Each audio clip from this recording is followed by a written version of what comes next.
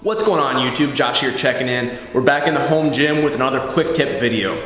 Today we're talking about basically maintaining a neutral neck position in the deadlift, how to do that, what are some cues for that. I think most people know that it's really important to maintain a neutral back, specifically your low back in the deadlift.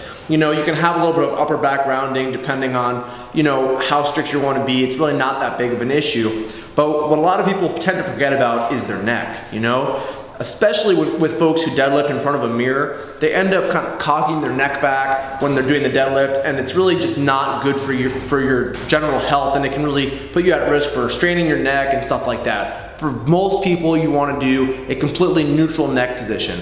And so what I mean by that, I'll just show you instead of talking, right? We're gonna make this a quick video. So you're gonna get in your regular deadlift stance, you get into your position of deadlifting. Now what you do with your neck is really important because you want to basically think about where you're looking at to fix the neck issue. So if you're looking in front of you at a mirror, this is not a good position because my lower back into my upper back should be pretty neutral. It should be like a straight line like this. You don't want, if this represents my neck, you don't want your neck like this, you don't want your neck like that, okay? So I'm gonna get into my deadlift position. I don't wanna be like this. I don't want my neck forward. Okay, I want a nice neutral neck position.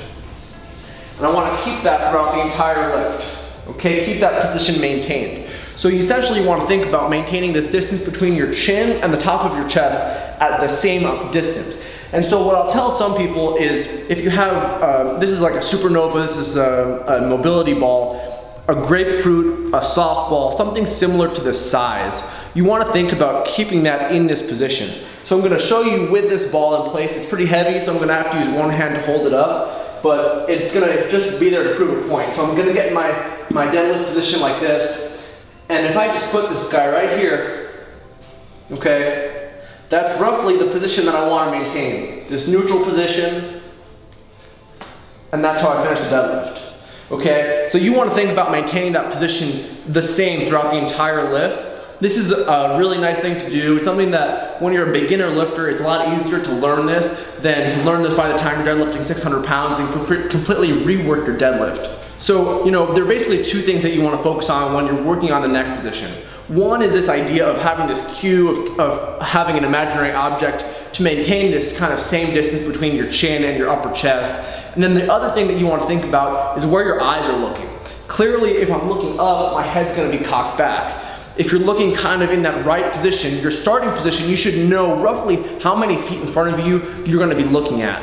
If you deadlift in the same place all the time, you can put an X on the floor or some kind of object that you can start off looking at and help you kind of get cued into looking in the same position every time for your deadlift start. So that's the video guys. I hope you enjoyed it. I hope you found this useful. Be sure to give this video a thumbs up. Be sure to post your comments and your questions below and I'll catch you guys all in the next video.